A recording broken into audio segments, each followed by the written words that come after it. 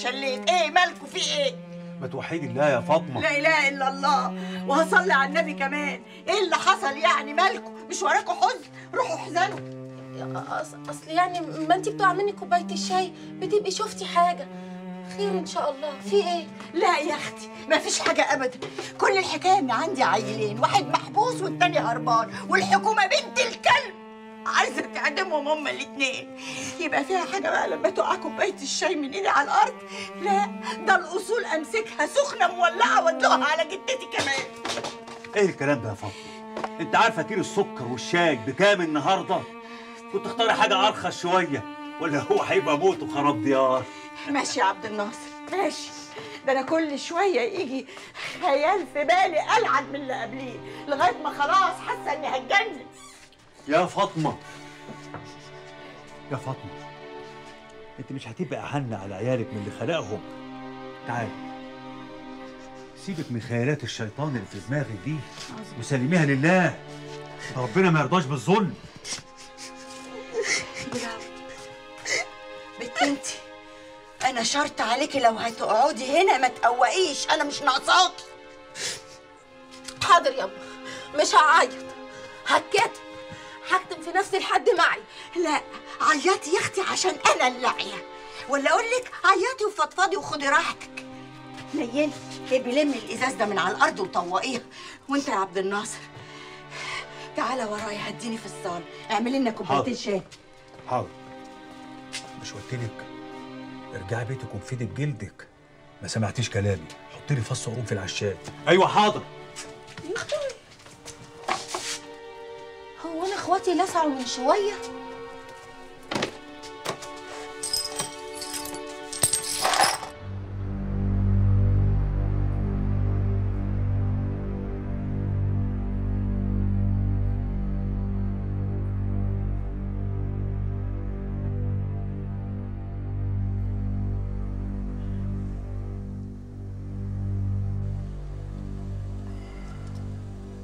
صح النوم يا بطل. إيه كل النوم ده؟ أنا إيه اللي جابني هنا؟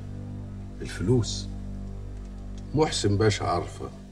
الفاسد المعفن. خد 100 جنيه عشان يخليك تقعد هنا وسطينا لحد ما نطمن عليك.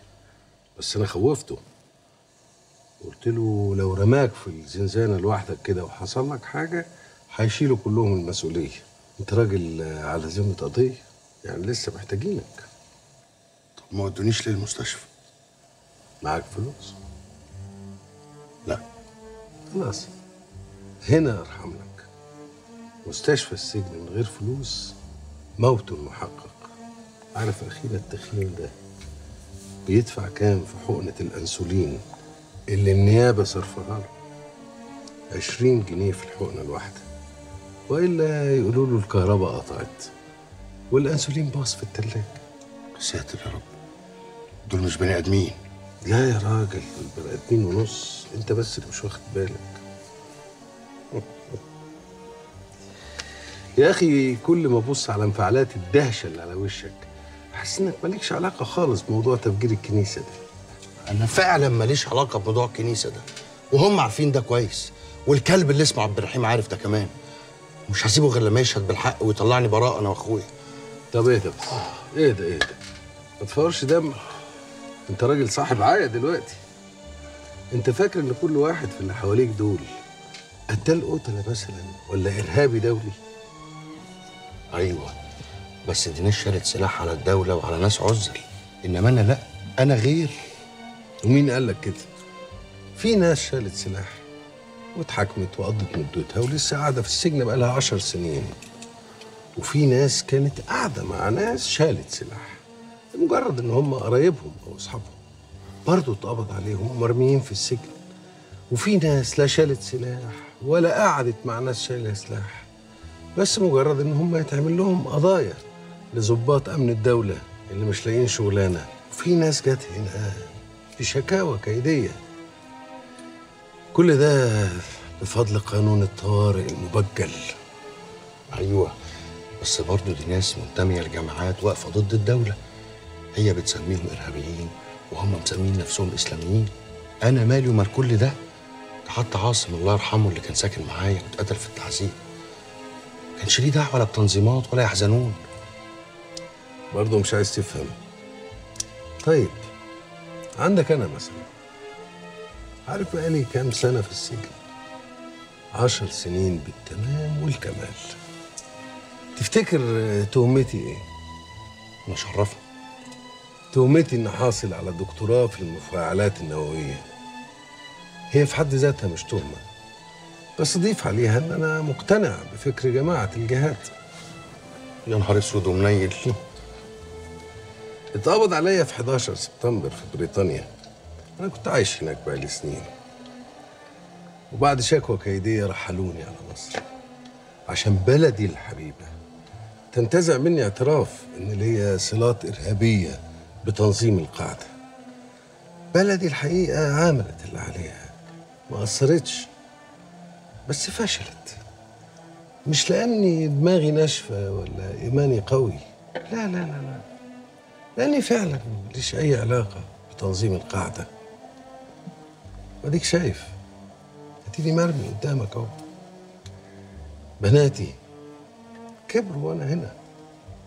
وهيتجوزوا وأنا برضه هنا. وإن شاء الله خرجتي هتكون برضه من هنا. لا حول ولا قوة لا إله إلا الله. يا عم الحاج يا عم الحاج أنا مقدر مشاعرك والله بس أنا ماليش دعوة بكل الكلام اللي أنت بتقوله ده. أنا غير. يا ابني افهم. أنا مش بقول لك الكلام ده عشان يئسك ولا أحبطك.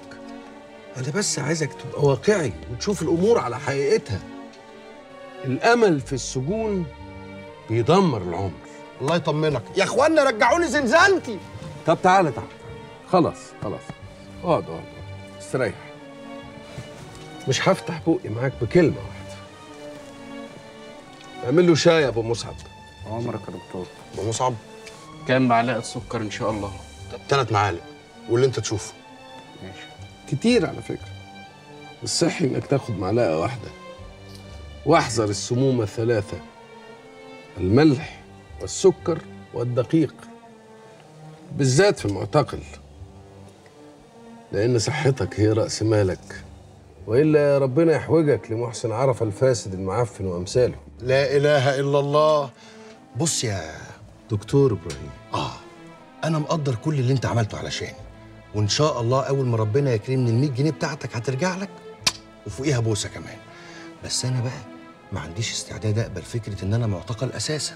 وسيادتك زي ما أنت بتقول مؤمن بفكر الجهاد. عشان كده ربنا ما شاء الله منزل عليك صبر وبتكلمني على كل الظلم اللي أنت اتظلمته ده ولا أكنه فارق معاك. إنما أنا غير. طيب ما تطلع على الفكر ده. يمكن يروقك. يا نهار أسود! يا إخوانا! أنتوا يا جدعان! أنتوا يا جدعان يا اللي بره. يا عم أنا عايز اتحبس انفراد الله يكرمكم فكر مين بس يا عم الحاج اللي عايز اتعرف عليه. الشاي تسلم ايديك يا ابو مصعب ما كانش ليه لازمة التعب. روح انت يا ابو مصعب اشرب الشاي واهدى كده. ما تفضلش تدور على الغلب. الغلب ما فيش أكتر منه عندنا هنا. عارف يا دكتور أنا بقلق جدا من الشخص المتفائل اللي على طول مبتسم ده. عشان اللي شيعني وجابني هنا راجل كان طول النهار فشيخ لي ضبه الله يكحمه بقى مطرح ما راح لا لا. ادعي له بالهداية. فإن لم يهتدي يبقى ربنا يكحمه. ماشي. بس أنا عايز أفهم حاجة. لما أنا مظلوم زي زيكم ليه مقعدني في حبس انفرادي؟ الفلوس يا أخي العزيز. الفلوس. لو معاك فلوس ممكن تقعد عندنا هنا طول اليوم وتروح تبات في زنزانتك. ولو معاك فلوس أكتر ممكن تقعد عندنا هنا على طول. وإحنا تحت أمرك لو حبيت. إحنا؟ لا كتر ألف خيرك. كفاية عليا التهمة اللي أنا فيها. عندي أمل إن أطلع منها. فبلاش حكاية إحنا دي خالص. وعلى فكرة في أول زيارة ليا هرجع لك ال 100 جنيه بتاعتك. بتضحك على إيه؟ على حكاية الزيارة دي يا إنسان. زيارة إيه؟ أنت راجل دمك خفيف وربنا هيحفظك إن شاء الله. الله. معناه إيه الكلام ده؟ أنت مش لسه قايل إن بيجيلك زيارة؟ عشان ده يحصل. لازم يبقوا متأكدين إنك رضيت بالظلم وتصالحت معاه. وأهلك رضيوا بالظلم وتصالحوا معاه. إنما لو حسوا للحظة إن الزيارة لو جات لك هتطلب محامي وتعمل لهم قلق ومشاكل يبقى تنسى موضوع الزيارة دي خالص. وعلى فكرة اعتبر المية جنيه اللي انت خدتهم قرض حسن وابقى رده وقت ما ربنا يفتحها عليك.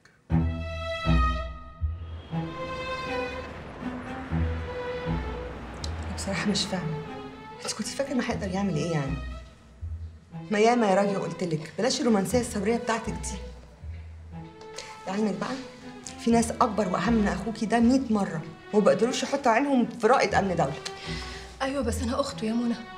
أخته. أكلمك جد ولا هتزعلي مني؟ والنبي يا منى بلاش هزار دلوقتي. طيب ماشي. نتكلم جد اولا أنت ليه مقتنعة جدا كده إن أخوكي مش زعلان عليكي؟ لا يا راجل أكيد طبعا زعلان جدا ومتضايق. بس في الأول وفي الآخر الغلطة كانت غلطتك. بصي يا حبيبتي أنا عارفة الحاجات دي حصلت إزاي وفي أنهي ظروف وان الكلب ده استغل ضعفك. بس برضو كل الحاجات دي ما تديش لاخوكي القوه إنه يقف قدامه.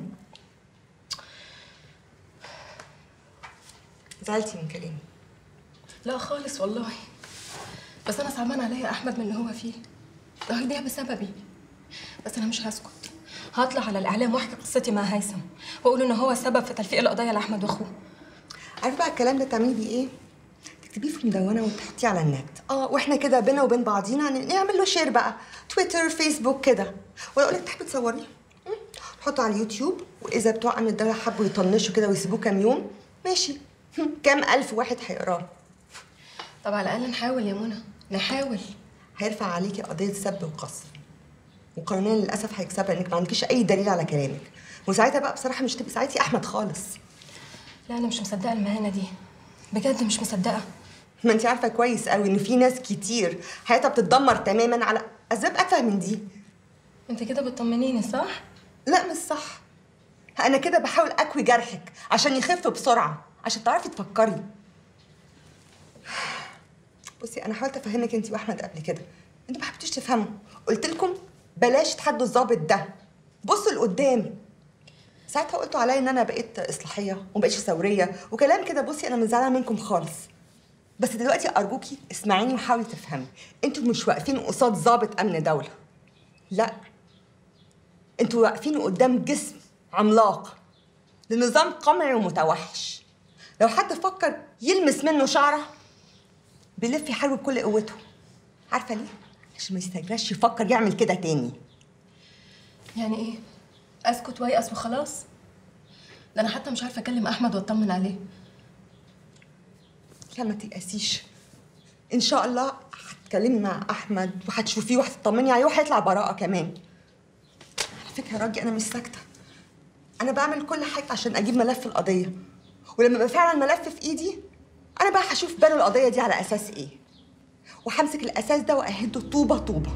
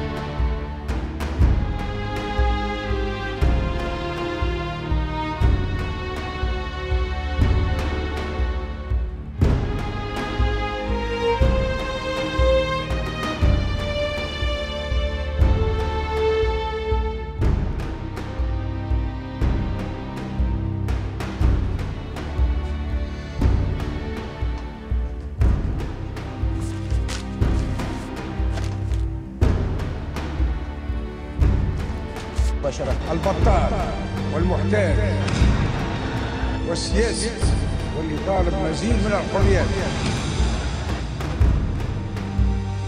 أعلنت مصادر للجزيرة بأن الرئيس التونسي زين العابدين بن علي قد غادر البلاد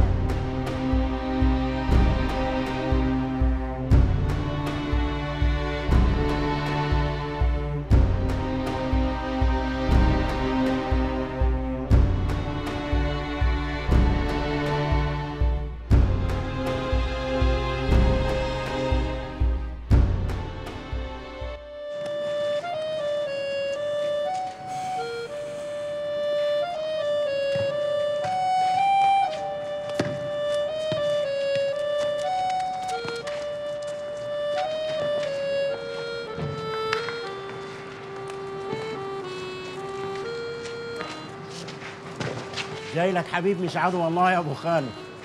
حقك على راسي وتفوق على اللي جرالك ولو عاوز نحب على راسك نحب بس ما عاوزينهاش توجعك يعني. قسما عظما بالله ما يرضيني اللي حصل. ولا كنت نحب إن ده يحصل من أساسه. بس ما تنساش يا خالي إنك أنت اللي ابتديت. ولا أنا غلطان؟ عايز يا عبد الرحيم. عايزك تفهمني يا صاحبي. أنا مش صاحب حد. وماله؟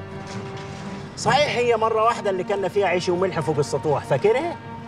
أنا راجل صعيدي والمرة دي كفاية عندي إن يبقى بينا عيش وملح. وحقك عليا إن أفهمك ليه أنا عملت اللي زعلك مني. أنا لا عايز أفهم ولا نيلة. أنا كل اللي عايزه منك إنك تشهد بالحق في النيابة عشان أنا وأخويا ما نتظلمش. تاني هيقول لي نيابي. يا واد خالي ما هو ده اللي أنا جاي أقوله لك. أنت عارف إن أنا ما تعرضتش على النيابة بنصله؟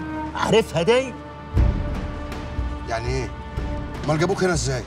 اسأل روحك أنت عارف إن أنا في تحقيقات أمن الدولة ما رضيتش أجر باسمي؟ ولا أنا منين؟ وقلت لهم إني فاقد الذاكرة. وحصلت لي حادثة من كام شهر خلتني ما أفتكرش حاجة عن نفسي واصل. وإن راجل صاحب الورشه شغلني شفقي. وأنت كده بجد ولا بتستعب بغض النظر يا صاحبي أنت حكومة. ولقيت حد قدامك عم يقول لك قصة الفيلم الهندي دي. تدور وراه وتشوفه عم يكذب ولا كلامه صدق ولا تبصم بالعشر على الكلام ده وتحطه في ورق رسمي. يعني انت ما شفتش النيابة؟ يا أبوي ده أنا كنت خايف وعامل حساب اللي هتحول فيه النيابة دوت. لأنها ممكن تحولني على الطب الشرعي وهناك يعملوا لي تحليل الدي ان إيه طب ما انت فل اهو عارف ال DNA ليه؟ قالوا لك عليا جاي من ورا الجاموسة. ده اللي جاي من وراها يعرف ال DNA. ومع ذلك الحكومة الإلكترونية بتاعتنا ما فكرتش إنها تعمله. عايزني بقى ما احمدش ربنا وابوس إيدي وش وظهر وأروح أقول لهم حولوني للنيابة عشان أفضح نفسي بنفسي. وده اللي أنا نفسي أفهمه. أنت عاجبك اللي أنا فيه؟ عاجبك اللي إحنا فيه؟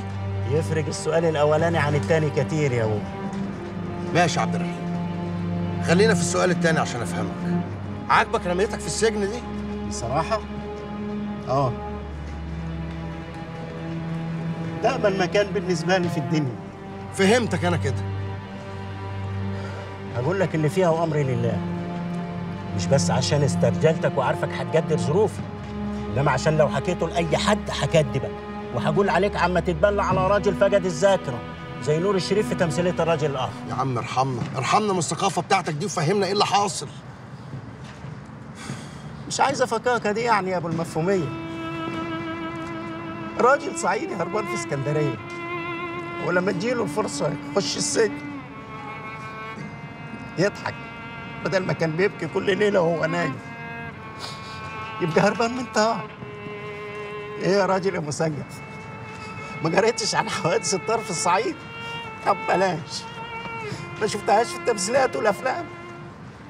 أنت هربان من طار عشان ترمي نفسك في تهمه هتجيب لك إعدام. ومين قال لك إنهم هيعدموني؟ طبعا. هيعدموك إزاي وأنت شهدت ضدنا بالباطل؟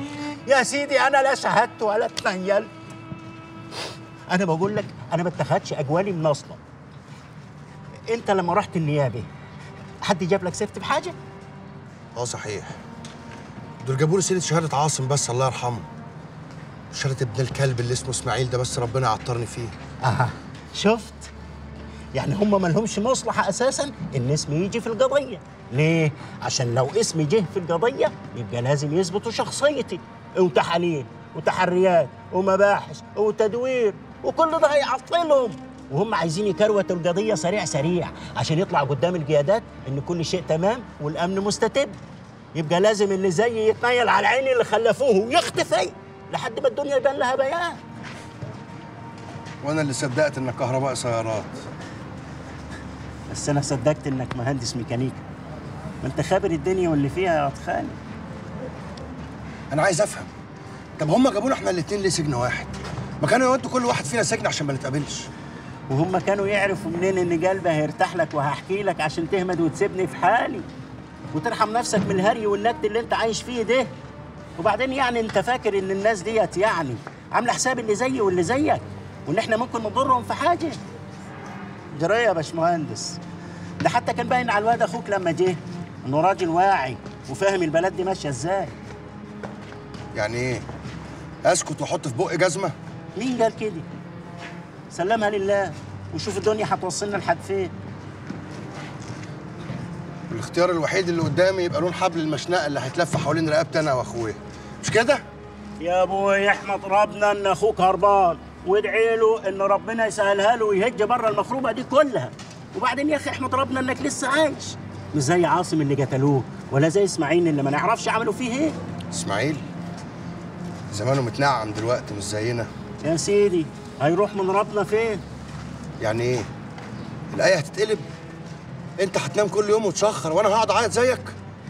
مش بقول لك قلبي ارتاح لك. بقول لك إيه؟ ما تيجي نربط مع جماعة الدكتور إبراهيم ينقلونا العنبر عنديهم. بالاتفاق مع الضابط المشرف. الجماعة شاريينك ما تقفلش دماغك معاهم. قول كده بقى. كده بانت. هم اللي باعتينك ها؟ امشي من قدامي يا عبد الرحيم. امشي بدل ما افتح دماغك. جاتك البلا. ولا أقول لك أنا اللي همشي. على كيفك. أول ما شفتك قلت عليك فجر ابن فجري.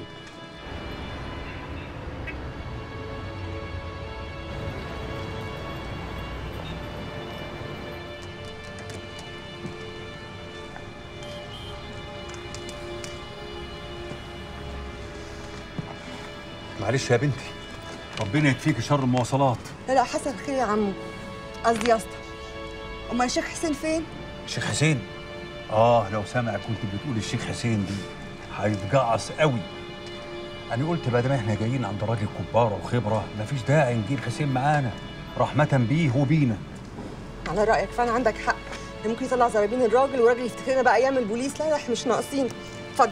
بمناسبة البوليس ده إحنا طبعا هنقول له يا متر ولا سيادة اللواء ولا نقول له إيه يعني؟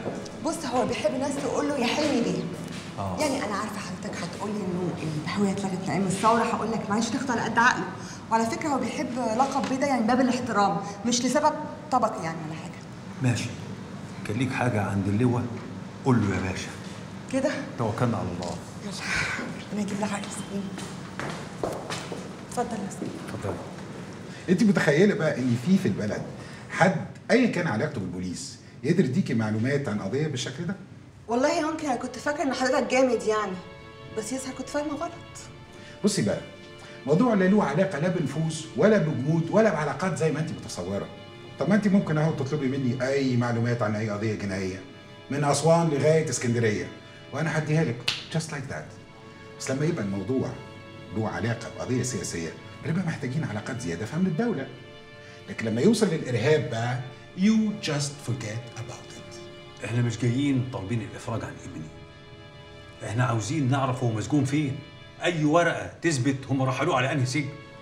I'm sorry يا فندم.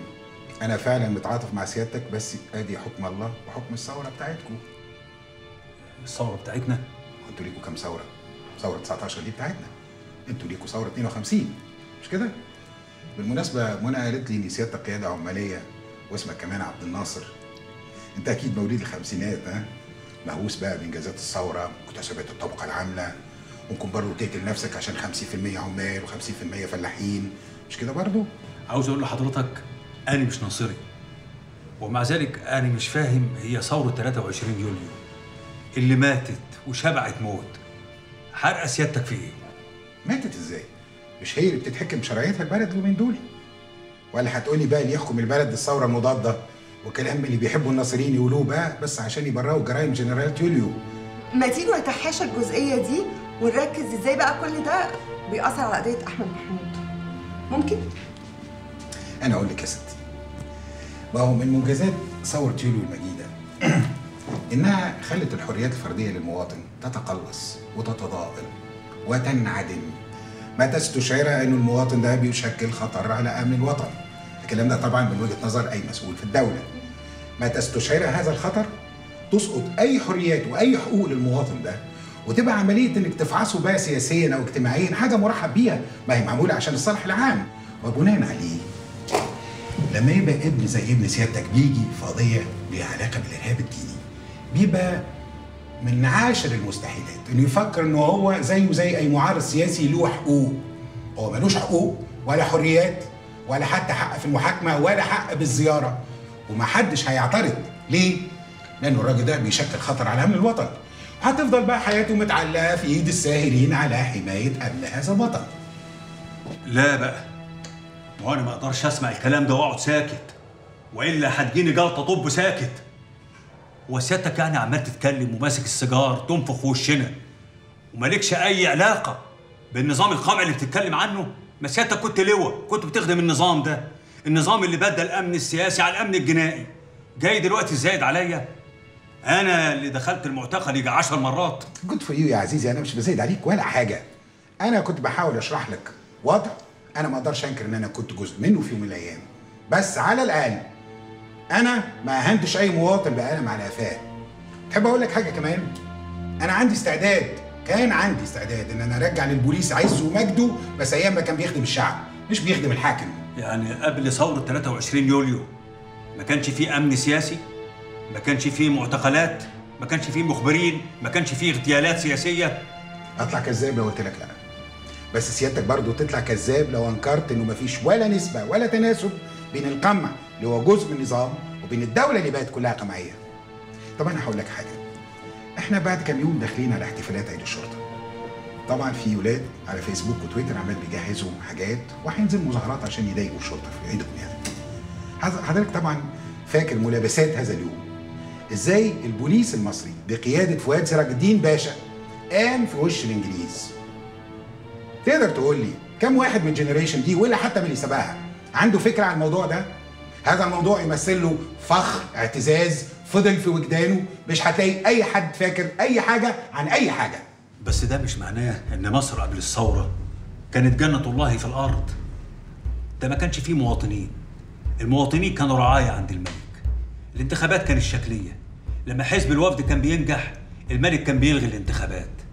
الصحافة كان لها حدود. الصحفيين كانوا بيدخلوا السجن.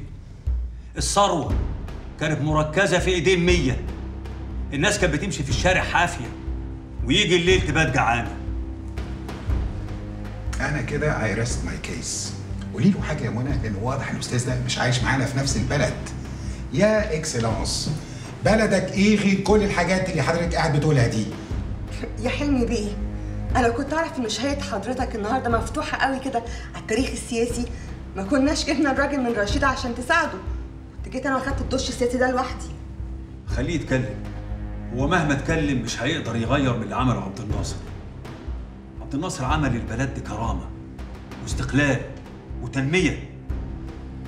بس للأسف غياب الديمقراطية كان غلطة كبيرة. لا قول جريمة عشان أحبك.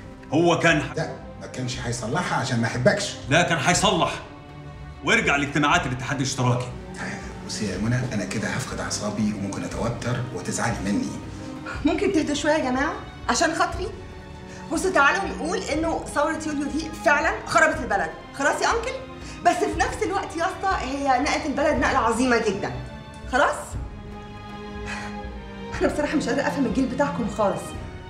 مش فاهمة أنتوا ليه مصرين تعيشوا في ملفات الماضي؟ وأنها بصراحة لا بتجيب ولا بتودي خالص. اللي ملوش ماضي ملوش مستقبل. في دي معاك حق؟ لا بس إحنا بقى إن شاء الله هنعمل مستقبلنا بإيدنا ومن غير الماضي بتاعكم ده. أنتوا مش هتعرفوا تعملوا أي حاجة. قبل ما تهدوا نظام يوليو ده كله على بعضه. طب ما نرجع لروح يوليو. يوليو اللي انحازت للغالبية العظمى من أبناء الشعب. تاني هيقول لي غالبية. أنت مغيب يا أستاذ؟ اسمع أنا لا أسمح لك إنك تتطاول عليا. وأنت يعني عشان ماسك سيجارة عمال تنفخ فيه هتقل أدبك علينا. لا لغايه كده والحوار انتهى. بس قبل ما تمشوا أنا اللي عايز أسألك. أنا اللي مستغرب أساسا إزاي مواطن زيك عانى كل المعاناة دي من النظام السابق؟ ولسه لغاية دلوقتي بتدافع عنه. انت أكيد في حاجة مش مظبوطة. هي نيدز هيلب اتفضلوا. عن إذنك. نورتوني.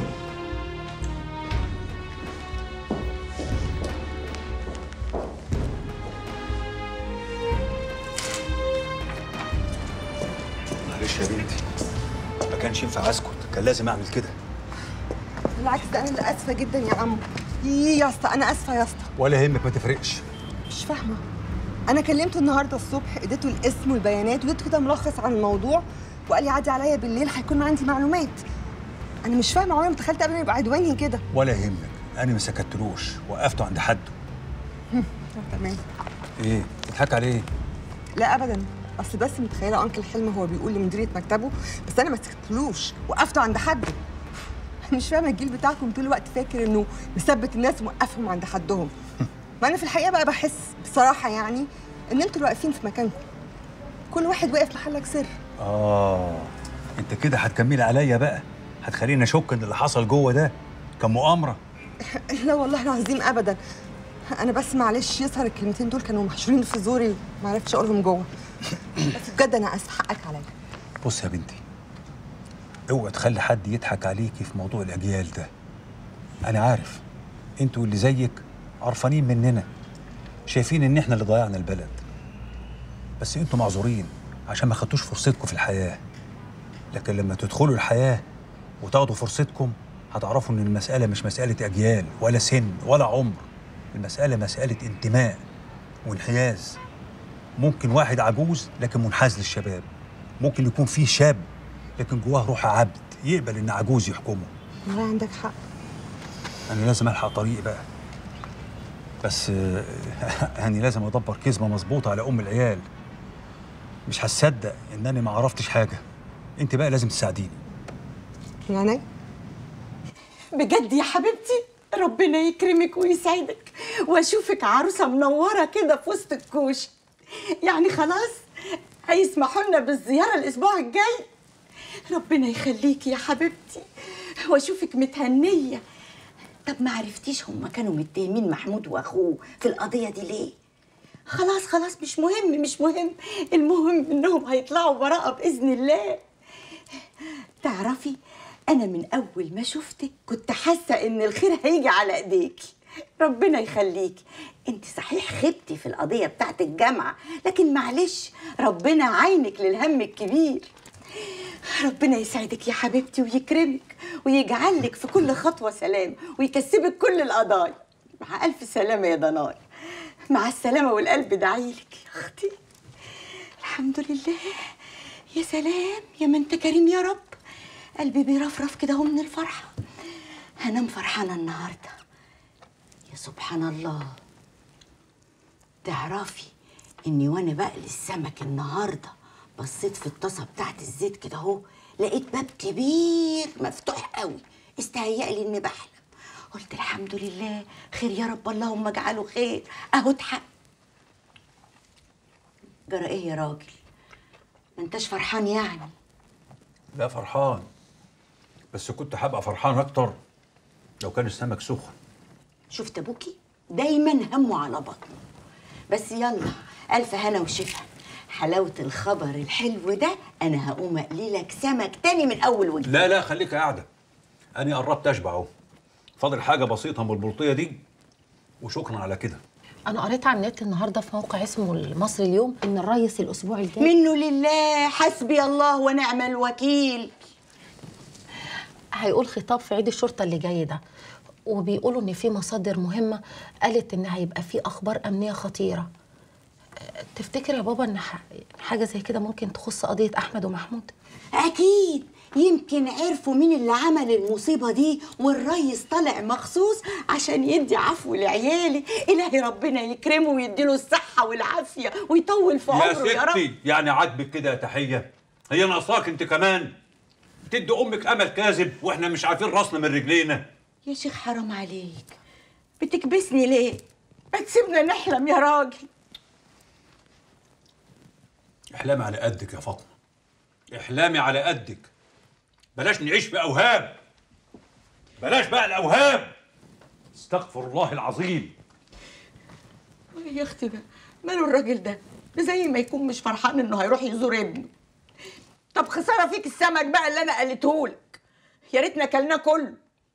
يا جماعة معانا واحد تعبان آه بطني بتتقطع. آه مغص حد يوديني المستشفى يا اخوانا يا اخوانا حد يرد على الراجل يا جدعان؟ مش عارفين ننام الله يخرب بيوتكم. يا جماعة حد يشوف لنا دكتور؟